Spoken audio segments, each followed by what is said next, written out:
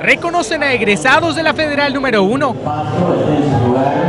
Ellos fueron los primeros en ocupar el actual edificio. Después de, un desfile del 20 de noviembre, nuestro director nos invita a que viniéramos a ese edificio cargando nuestro, nuestra silla.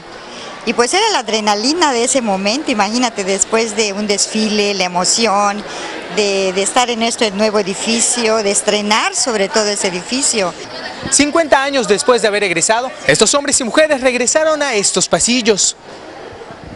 Por esta misma puerta donde los muchachos eh, hoy día entraron a su homenaje a la bandera, nosotros hicimos lo mismo hace 50 años. Se dice fácil, pero son 50 años en el que han pasado por estas aulas personajes de historia, de la política, de la literatura.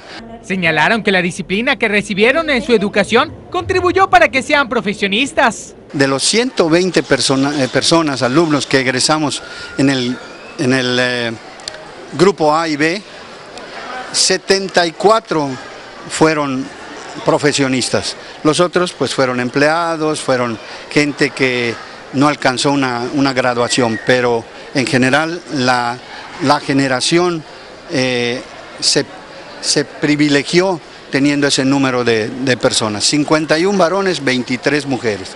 Orgullosos de su formación académica, exalumnos recuerdan con cariño la institución que contribuyó para que hoy sean hombres y mujeres de bien